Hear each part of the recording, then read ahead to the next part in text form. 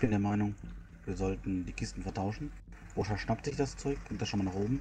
Und wir gehen danach alle mal die Strickleiter nach oben und verpissen uns, wenn es dunkel ist. Okay, es ist ja schon dunkel. Das können wir tun. Aber da unten stehen Kammergarnisten, die wir ablenken müssen. Das stimmt. Um die Kiste auszutauschen. Was schlagt ihr vor, was wir tun? Wir sollten momentan vorsichtig sein. Siehst du da vorne Lolgrim? Der ist, äh, der, der diskutiert nicht, glaube ich, gerne rum. Also, ja. Lass uns ein wenig abwarten. Die werden hier nicht unter Dauerstrom stehen, denke ich. Des Nächtens wird es ein bisschen unauffälliger. Okay, wir warten noch ein wenig. Tauschen die Warten noch ein wenig. Bringen die, Die Kiste dahin, wo die Werkzeugkiste hingehört. Wasche räumt das aus, bringt die Strickleiter hoch. Eine Stunde später verschwinden wir. Ja. Ja, äh, während Rodrigo noch sagt, die können nicht die ganze Zeit unter Strom stehen, könnt ihr sehen, wie Lolgrim an seinen Gürtel greift, eine ziemlich martialische Peitsche hervorholt, ähm, mit drei Schwänzen und die sind dann auch mit Dornen versehen und fängt dann an, einer der Sklaven, die hier gerade ein paar Skelette äh, von A nach B bringt, fängt da einfach mal an auszupeitschen. Ähm, ihr habt nicht genau gesehen, warum. Vielleicht einfach nur so. Man vers- äh, Aurelia, also, ja, ich mal gerade nach. Ähm, Rodrigo äh, schafft es nicht, sich das Ganze zu unterdrücken. Er will eigentlich dahin schauen, will dann sich vielleicht im schlimmsten Fall umdrehen, aber äh, kann sich nicht zurückhalten. Was ist denn hier los? Warum? Wieso? Was soll der Scheiß? Äh, Ist der Sklave? Müssen wir den Sklaven etwa töten? Was ist hier los? Er dreht seinen Kopf, die Peitsche ruckt herum. Du darfst gerne einfach mal eine Ausweichenprobe machen. Äh, Er ist total perplex, er kriegt die Peitsche voll ab. Jo, dann, äh, ja, mit dem Patzer ist das, glaube ich, äh, drin. Äh, dann schlägt er, ähm, hat nicht gezielt. Schauen wir einfach mal nach, wo er trifft. Autsch. Zum Glück nicht doppelter Schaden. Ähm, reißt dir den Helm runter und äh, du kannst auch sehen, wie die Dornen dann äh, teilweise an deinem Hals oder an der Wange hängen bleiben, sodass sie ein Stückchen Fleisch herausreißen und du dann äh, ja ohne Helm und mit blutender Wange ähm, perplex da stehst und ihn anblickst. Seine Augen leuchten ein bisschen rot, du kannst sehen, wie er wohl kurz vor einem Blutrausch steht und ähm, dich anfunkelt, die Peitsche immer noch zuckend in Ja, seiner Hand. Er, er auf immer den- noch so ein fällt, bisschen. Fällt auf den Hintern, schaut ihn perplex an und krabbelt auf dem Arsch rückwärts. Ich hab's nicht so gemeint, ich hab's nicht so gemeint. Und die Panik scheint er wohl nicht nur nicht zu spielen, sondern er hat sich wirklich gerade nicht unter Kontrolle und krabbelt rückwärts und stößt gegen Jalan. Ich hab's nicht so gemeint, schaut aber nur Richtung Lolgrim. Ja, Jalan hat. Auf dem Hintern äh, rückwärts krabbelt. Jalan hat seinen Männern noch zugeraunt, sieht zu, dass die Kisten ausgetauscht werden. Er rennt zu Rodrigo hin und wenn er dann an den Rand krabbelt, sich umsetzt, äh, kriegt er erst nur eine Schelle. Also richtig schön kräftig. Was hab ich dir gesagt? TP, das heißt, der, der Schaden, der Schaden wird auf den Helm gemindert. Ja, weiß ich nicht, nimm mal so einen Helm mit, äh, also ich hatte das vorhin hatte- 5er Rüstungsschutz gesagt, aber nimm mal so einen 2er Rüstungsschutz für den Helm an, sodass du 5 Also Schaden ein kriegst. verstärkter Lederhelm hat schon drei. Ja, dann, dann kriegst du 4 SP, das ist okay. Gut. Aufgeschrieben. Verdammte Frischlinge, reiß dich ein bisschen zusammen. Kannst so lange Latrinen schaufeln, bis du dich in der Scheiße wohlfühlst. Los, hol dir eine Schippe. Ja, ja, ja. Er kriegt Ja, er vorbei, steht geht auf, los, rennt nach hier vorne hin, auf halbem Wege kehrt er wieder um und äh, ja, rennt dann zu der richtigen Werkzeugkiste. Und die Kiste nimmst du auch gleich mit. Nein, nicht die, die andere. Wenn du die da mitnimmst, schneide ich dir persönlich den Hals durch. Auf welche Kiste hast du gezeigt, die ich, die ich mitnehmen soll? Die blaue natürlich. Wenn du- ja, ja, die Werkzeugkiste, ich nehme, ich nehme. Wende mich dann an, an Lollengren. Okay, jetzt musst du ihn ablenken ähm, und das muss gelingen, sonst kriegt er mit, dass jetzt die Endurium-Kiste verladen wird und nicht die Werkzeugkiste. Ich will Dann- die drei hier vorne ablenken. Okay, das äh, kriegst du auf alle Fälle hin. Äh, es geht jetzt erstmal um Lolgrim, also auch. Äh, wir fangen erstmal mit FA3 aus an, mit den Kammergardisten und kann sich äh, Jalan in der Zeit überlegen, was er tut. Also da hat gerade der, der Peitschenhieb stattgefunden und äh, Genau. wird geschrien und dann kommt der Vater aus seinem Sch Scheiße, Mann. Herr wa was geht denn hier? Ich hab dir doch gesagt, die sind wahnsinnig. Die peitschen nach uns, Mann. Alter, fuck, so- sollen wir uns verziehen oder was? Nein. Also, wenn Ah, er in Blutrausch äh, verfällt, dann, dann schiebst du die Sklave nach vorne und äh, hoffst, dass nach fünf Minuten äh, Ende im Gelände ist, aber wenn du wegläufst, dann äh, bist du schwach und dann wirst du aussortiert.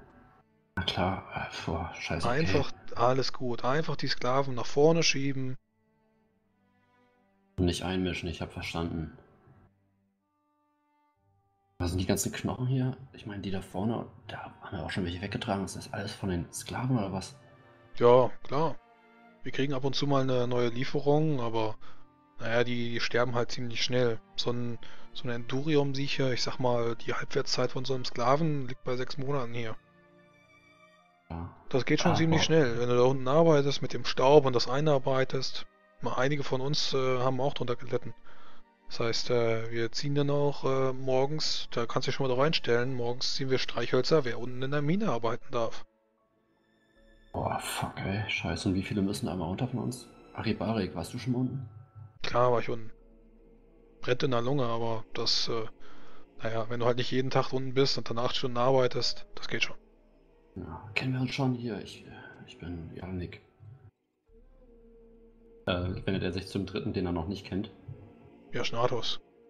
Nickt er dir nur Ja. zu. Oder? Okay. Sehr gespannt, ey. Boah, ich möchte mal nicht so einen vom. Eigentlich würde ich es schon mal gern sehen, wie einer vom Imperium Corsa austickt. Nee, nee, das willst du nicht sehen. Ja, Bin froh, möchte wenn ich irgendwann stehen, wieder- das passiert. Ich bin froh, wenn ich irgendwann wieder zurück nach Tuzak komme.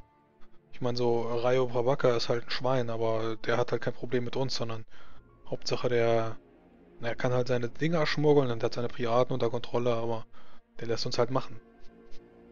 Vielleicht hast du ja morgen Glück. Andererseits, ah, hier wird man in letzter Zeit häufig aus dem Dschungel angegriffen. Also vielleicht lieber beim nächsten Mal.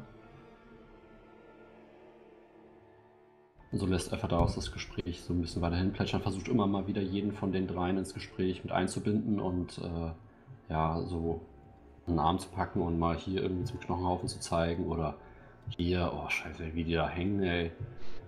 Ja, würfel mal eine Überzeugen und eine Überreden-Probe. Ähm, Mhm. das eine ist erleichtert um 5, das andere ist erschwert um 5. Ähm, du bekommst sie äh, leicht abgelenkt und äh, auf dich fokussiert. Das ist die äh, Über Überzeugen-Probe. Und das Überreden ist erschwert um 5, weil sie sehr an deinem Bart haften bleiben. Also der Mhm, Regen hat auch in deinem. Bart ein bisschen gewühlt und das Blut ist rausgewaschen. Überzeugen erleichtert um 5 und Überreden erschwert um 5. Ja, ähm, da möchte ich dann mein Chippy benutzen, um die 20 nachzuwürfeln. Ja, Chaos macht. Ja, Das äh, gut das klappt dann. Gut. Ja. Ähm, ja, und dann äh, hast du sie auf alle Fälle unter de deiner Kontrolle, kannst ihnen halt so ein bisschen da was erzählen und da und äh, ja, damit sind die auf alle Fälle gebunden. Äh, während das alles passiert ist, Jana einen schnellen Schritt ist oh, Lagrim nachgegangen. Scheiße nochmal, die verdammten Frischlinge. Ich habe das Gefühl, ich bin der Einzige hier, der das schon länger als da... Ja, was zur... Er blickt rechts über seine Schulter. Äh, zeigt dann auch mit dem Arm dahin. Seht ihr die Scheiße? Dahin, wo die, wo die Skelette verscharrt worden sind. Und... Ja, geht an ihm vorbei, will ihn mitnehmen. Fass mich nicht an. Ja, guckt mal hierher, was der schon wieder eine Scheiße gemacht hat. Ich habe gesagt, fass mich. Ich habe gesagt, Ja, fass also mich ich- nicht an. Ich, ich lasse es dann auch, äh, sobald er, sobald er sagt, fasst mich nicht an. Ich gehe dann noch zwei Schritte in die Richtung. Zeig noch mal hin. Seht ihr das? Ja, neben dir ist dann auch ein Sklave irgendwie zusammengebrochen und liegt da mit Striemen auf dem Rücken und dem geht's nicht gut. Der leidet, du kannst seine grauen, fast erblindeten Augen sehen. Der Mann hat überhaupt nichts, was er da irgendwie entgegensetzen kann und hat auch quasi nichts gemacht. Uff, uff, uff. Ich muss jetzt ganz hart die Zähne zusammenbeißen. Ist das einer von denen, die, die, die geschleppt haben? Äh, hoch oder tief? Würfel mal Hoch. Plus oder Minus. Kommt. Das ist ein frischer Sklave. Aber ich habe doch hoch gesagt. Äh, ja, also der ist nicht ganz so kaputt. Der stirbt jetzt hier nicht. Äh, der, äh, der ist halt schwer verwundet, aber wenn der jetzt halt vorher noch irgendwie gebuddelt hätte und äh, dann wäre der halt jetzt tot zusammengebrochen. Ich wollte ihn eigentlich zur Ablenkung haben, aber gut. Äh, ja, dann, dann nimm ihn, dann nimm ihn halt so, ist okay. Also mit dem Plus kannst du dann auch den, den Fakt so beugen, ist okay. Ich pack ihn dann, pack ihn an den Schultern, zäh ihn hoch. So eine scheiß Arbeit, wie er leistet. Guck dann zu Dolgrim. Ja, was machen wir mit dem? Soll man einfach... Ich meine, das Loch da hinten ist ja eine letzte Scheiße. Bring ihn halt Ich um. jetzt, ich stehe jetzt südwärts von ihm. Äh, Oh, oh, muss ich mich selbst beherrschen?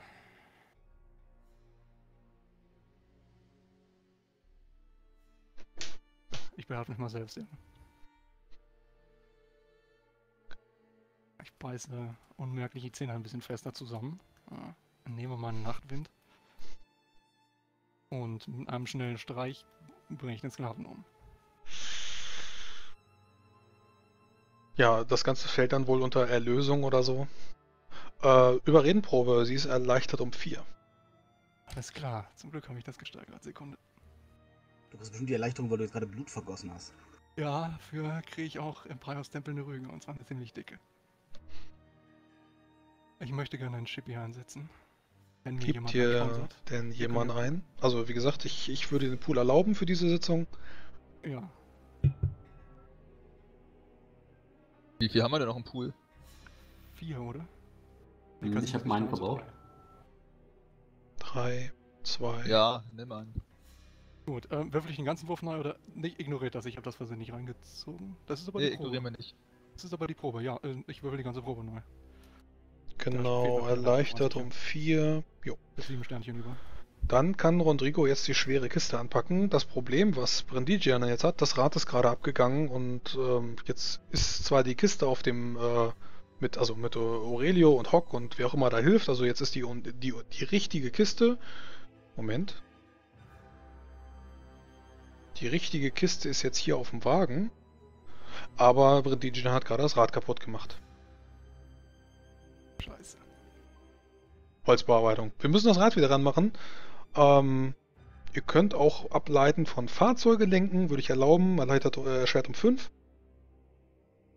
Aber jetzt muss das Rad wieder ran. Ja, dann versuche ich mal das Rad wieder ranzukriegen.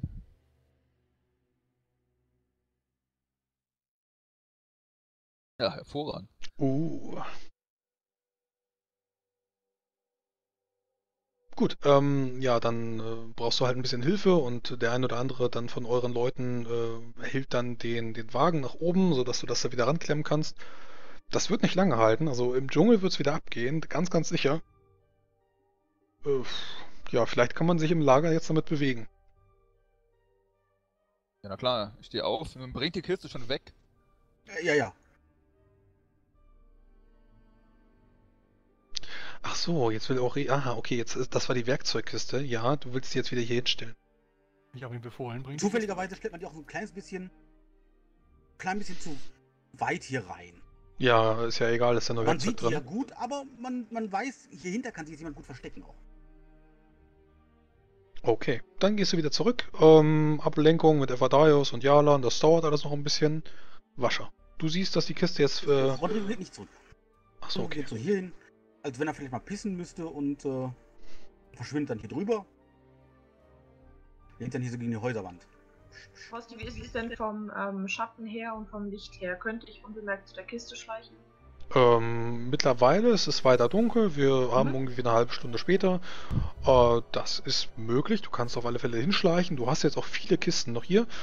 Ähm, über den Platz schleichen geht nicht. Das äh, wird nicht funktionieren, deswegen aber bis ja hierhin auf alle Fälle. Also, ähm, Ja. du hast jetzt hier Wachen und ähm, ich, ich werde dich da auch gar nicht würfeln lassen. Also mit diesen Kisten hier, wenn du dich hier ordentlich Mhm. rumschleichst, das ist quasi, äh, ist das, ist das gewonnene Spiel. Also mach halt und eine, ich mach halt eine. gesehen, die Kiste ist offen, ne?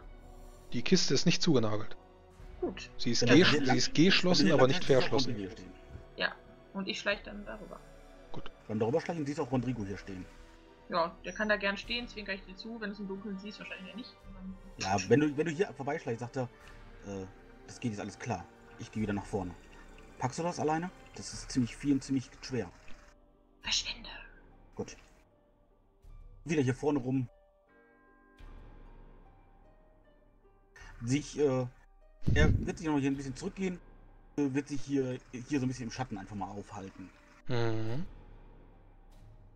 Wird immer zwischendurch um die Ecke linsen hier so ein bisschen und so ein bisschen tun, als wenn er sich vielleicht seine Wunden leckt hier hinten so. Er ist ja auch schließlich obergefreit, er ist der absolute Anfänger und ja, Ja, hast jetzt auch äh, innerhalb von wenigen Stunden richtig viel auf die Schnauze bekommen. Peitsche und mit den Händen graben und hast du nicht gesehen und hast gekotzt und ja, dir geht's ziemlich gekotzt Ja, aber in. Anführ in Anführungsstrichen gekotzt. Nee, also das richtig kotzen ist anstrengend. Also ich, das Rahmen ist super anstrengend, ganz klar, aber ich gekotzt habe ich nicht. Ich habe nur. Äh, äh, Du, äh, äh, ich, okay, ich dachte, ich dachte, du hättest so getan. Äh, okay, gut. Nein, nein, aber- hab aber das du bist- du getan, bist- nur die Geräusche. Ja, ja, genau. Du bist, du bist ein armes Würstchen. Du bist Genau, ein ganz, du bist ein ganz armes Würstchen. Äh, Wascher steht vor der Kiste. Sie ist wie gesagt geschlossen, aber nicht verschlossen. Dann möchte ich die ganz leicht anheben an einer Seite und mal reingreifen. Mhm. Ähm, ja, es schimmert ein bisschen in der Truhe, so ein bisschen gülden äh, Mhm. und schwarz. Ähm, das, ist auf alle, das ist auf alle Fälle Erz, ähm, also sehr steinhaltig auch noch, aber du kannst auch Einschlüsse sehen, ähm, Okklusionen und ähm, das sieht schick aus. Also ähm, du, das sieht auf alle Fälle nicht so, so grau oder silbrig aus wie Eisen, aber das muss schon seinen Grund haben. Gold, das muss wohl dieses Endurium sein. Sonst hätte äh, Rodrigo dir nicht die, die Kiste so hier vor deine, vor deine Füße gestellt. Wie groß sind denn die Klumpen, beziehungsweise wie weit müsste ich die Kiste aufmachen? Ähm, ich, ich sag mal, die Klumpen sind ungefähr so groß wie ein Kinderkopf. Ähm, von verschiedener ähm, Größe, äh, mal da eine Ausbuchtung, mal da, aber ungefähr so groß wie ein Kinderkopf und dann drei, äh, zweieinhalb Kilo schwer, äh, wenn du die anfährst. Ähm, die Oberfläche ist auch noch ein bisschen ähm, schmierig. Und wenn du anfährst äh, und so hochhebst, kannst du auch spüren, wie es nach kurzer Zeit anfängt zu prickeln in deiner Hand. Und deine Hände fangen leicht an zu rauchen. Okay, also dann mache ich es so, dann nehme ich sie nacheinander, also dass ich die Kiste euch einmal hoch mache, Klumpen raus, Kiste wieder zu, weil zweieinhalb Kilo, also das äh, Ashika wiegt ja auch ein ganz bisschen was. Und dann wirklich Klumpen nach Klumpen verpacken, weil ich habe ja Zeit, wenn ich da hocke, also ich fühle mich ja gerade relativ sicher, denke ich mal, weil gerade versteckt. Das heißt, ähm, ich würde es auch nicht direkt an meinen Körper machen, aber ich würde halt versuchen, es an drei Stellen zu positionieren, wo es quasi um meinen Körper verteilt ist, sodass ich es mit einem Lederriemen oder so an mich binden kann. Ich würde nicht alles in einen, ähm, in einen Beutel tun, damit es quasi nicht auf einen Klumpen schwer ist, sondern an mir dran ist, weil ich das von der Schlange her kenne. Und dann, äh, ja, wenn ich die alle habe, zurück. Ich Mhm. nicht, wie Ich, ich vermute, du bist nicht mit Rucksack runtergeklettert. Das macht ja gerade keinen Sinn, ne? Also sowas wie Nö. Dolch und Anziehsachen hast du dabei und dann leeren Rucksack. Genau. Genau. Gut.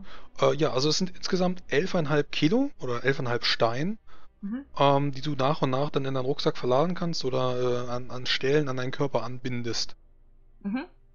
Ähm, Du hast ja, gesagt, es sind drei große mal zweieinhalb Kilo. Das heißt, dann wären es ja eigentlich nur noch kleine Klümpchen, die Rucksack ja, drei, drei, vier, fünf Klümpchen, dann noch so ein paar kleinere, also immer so ein bisschen komisch verteilt, äh, chaotisches Material.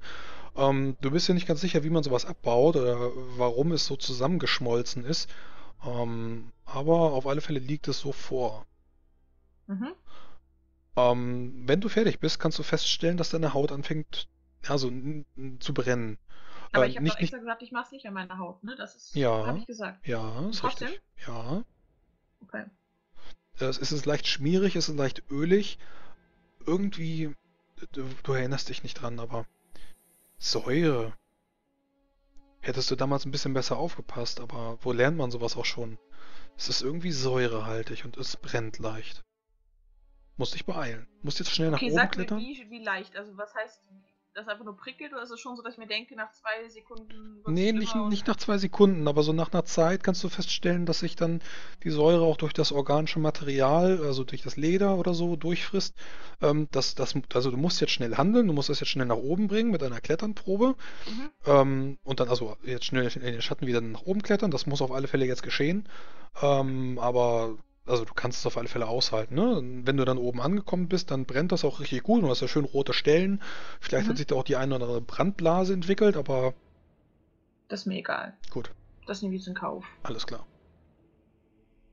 Ja, dann eine Kletternprobe bitte. Ähm, Modifikator, sie ist erschwert um 2, weil du jetzt eine Behinderung hast.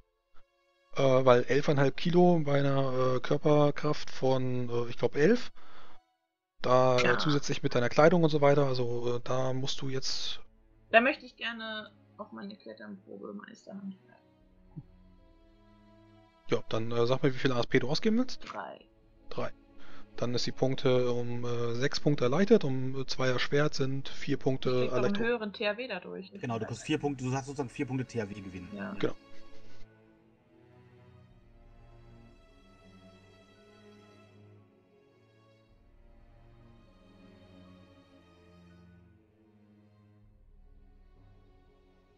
Gut, äh, dann kommst du oben an und du bekommst zusätzlich ähm, 2W6 minus 2 SP durch das Vitriol. Es wird nämlich äh, OT abgebaut durch einen, ähm, lass mich nicht lügen, durch einen Arkoball.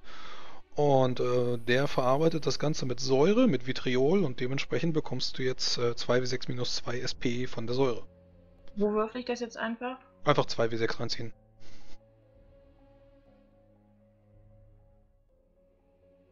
Jo, sind äh, 6 minus 2 sind 4 Schaden.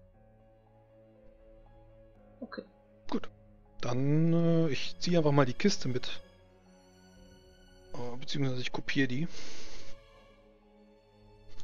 Und damit bist du im Besitz von 11,5 Kilo, Vit äh, nicht Vitriol, sondern mit äh, Endurium. Scheiße. Denk mal drüber nach, was das wert ist. Ich gehe dann jetzt mal und lasse die Gruppe einfach allein.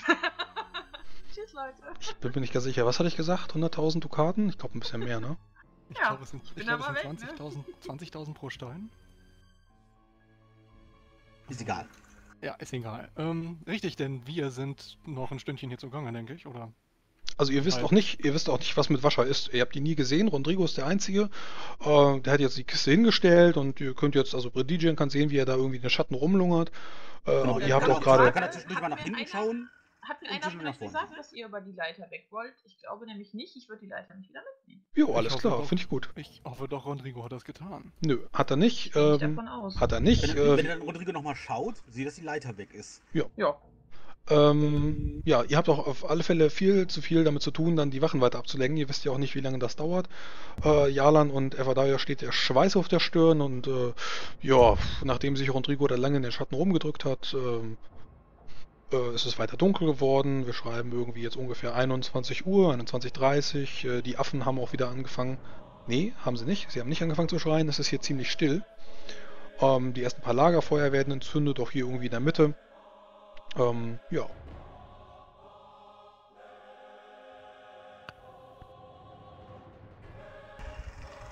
Äh, Bruder Feldwebel. Weibel. Aurelio, was gibt's? Äh, ja, alles soweit äh, fast gut. Also, äh, ja, äh, die, äh, die Leiter ist äh, weg. Ihr könnt sehen, wie sich die äh, doppelflügelige Tür wieder öffnet, das Portal, und Perdido Dorkstein zusammen mit Orsko hinauskommt. Ich muss weg hier von der Kiste. Er äh, stellt sich hier mal auf den Platz und seine Stimme dröhnt wieder über diesen kleinen Platz, äh, richtet sich nicht nur an euch, sondern auch an die Leute dahinter oder auch auf die äh, an den äh, auf den Ausguckplattformen, denn äh, die können seine Stimme auch ohne Probleme verstehen.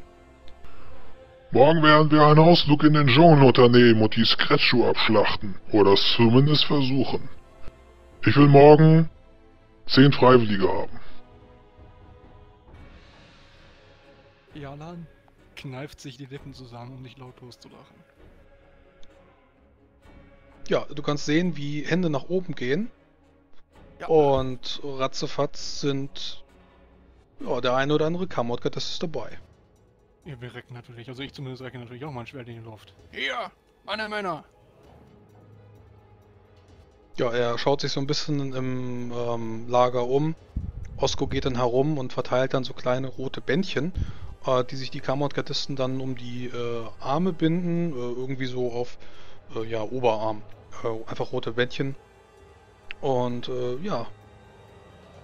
Das Problem, wir würfeln jetzt aus, wer dazugehört. Denn es kann sein, dass ihr nicht alle dabei seid. Können wir einen Chippy ausgeben, um Fakten zu Äh, schaffen? Aurelio hat äh, nicht seinen Arm gehoben. Das gebe ich direkt dazu. Nö, ich habe aber mal stellvertretend Harlem Ja, das stimmt. Und jetzt, jetzt natürlich, du kannst dich jetzt natürlich hinstellen und sagen, äh, Moment, ich nehme. Nein, sagen wir da nichts. Ja, okay. Äh, ich schaue mir einfach mal alle Kamordgardisten an. Jeder bekommt eine Nummer und dann würfeln wir aus, wer mitkommt und wer nicht. Und es kann durchaus sein, dass eure Gruppe sich jetzt aufspaltet. Dazu allerdings Nächste Woche. Nein, könnt ihr nicht. Okay. Ihr könnt, äh, ja, warte mal, dann machen wir das jetzt. Ich werde mal diesen Wagen wieder als Objekt machen. Aber nicht erstmal warten, was das Würfeln sagt, ein Chip hier ausgeben. So, dann habt ihr hier 1, 2, 3, 4, 10. Dann sind das hier noch 3. Das sind auch nochmal 3.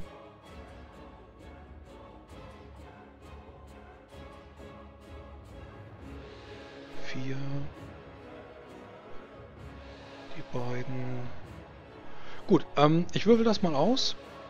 Und äh, wir machen jetzt auf alle Fälle Schluss. Wir werden nächste Woche sehen, wer Scratchu jagen geht und wer nicht. Es kann auf alle Fälle sein, dass sich die Gruppe jetzt trennt. Fuck. Hm. So, hallo und damit herzlich willkommen noch einmal von mir. Ich habe bereits ausgewürfelt. Ich weiß nicht genau, was nächste Woche passieren wird, aber ich weiß zumindest schon mal, wer wie stehen wird und das wollte ich euch an dieser Stelle schon einmal verraten. Ähm, ja, wir haben 21 Leute in dieser Mine. Äh, die äh, eigene Truppe von Perdido, die Endurium-Garde, habe ich mal rausgenommen, sondern nur Kamot-Gardisten und äh, Helden zumindest. Äh, dann die NPCs habe ich nochmal reingenommen. Ja, und das, äh, was ich dann gewürfelt habe, mit einem W21, W20, W19, W18 und so weiter und so fort. Die Gruppe wurde dann immer kleiner und der Trupp um die Scratchu wurde dann immer größer. Das, was dabei rauskam, ist, dass äh, die Gruppe sich tatsächlich gespalten hat. Ähm, Darius wird dann nächste Woche dem Trupp zugeteilt werden und darf Scratchu jagen. Er hat noch ein paar NPCs dabei an seiner Seite, die äh, ja nicht aus Kamor gerade bestehen, sondern ähm, ja die Söldner, die ihn quasi auch gar nicht mögen. Beziehungsweise er mag sie nicht äh, und das äh, spiele ich dann einfach aus, dass sie ihn auch nicht mögen. Mit den Vorurteilen gegen Söldner, die werden auf alle Fälle triggern. Da wird er noch viel Spaß mit haben. Brendigian ist abkommandiert zur Minenwache. Ähm, der gute Perdido Dorkstein hat ja auf alle Fälle irgendwas in der Mine gesehen und kam dann zu dem Schluss, ähm, wir müssen jetzt Scratchu jagen gehen und das wird dann die Aufgabe von Brendigian sein, dass er an der Mine dann zusammen mit einem anderen Kamot-Gardisten Wache stehen darf. Das wird vielleicht auch nochmal ganz interessant werden. Jalan derweil darf schlafen gehen. Den habe ich jetzt einfach mal so ausgewürfelt, dass er äh, die erste Ruhephase bekommt und Rodrigo steht jetzt erstmal am Tor. Ähm, beziehungsweise an der Pforte, am Portal und hat da dann auch einen Blick auf die Position, wo Kasim gerade sitzt. Wascher ist quasi mit dem Endurium ja schon fertig und kann eigentlich ihrer Wege gehen. Aber äh, Kasim wartet auf alle Fälle noch immer auf das Zeichen, dass er jetzt diese Turm in die Luft jagt. Und ob das dann nächste Woche passieren wird oder nicht, weiß ich nicht, aber wir werden es sehen und ich bin genauso gespannt wie ihr. Ja, ähm, jetzt wird es auf alle Fälle nochmal ähm, einen Ticken würziger, sag ich einfach mal, weil, naja, jetzt waren sie in, ja, in einem großen Trupp ähm, mit Leuten, denen sie vertrauen konnten, waren sie jetzt hier unterwegs und das habe ich einfach mal aufgehoben und sie aus ihrer Komfort Komfortzone geholt. Die dürfen jetzt nämlich alleine in diesem Lager umherlaufen und sich nicht von ihrer Position wegbewegen. Das heißt, sie dürfen sich jetzt selbst Gedanken machen, wie es weitergeht. Dazu aber, wie gesagt, nächste Woche mehr. Bis dann.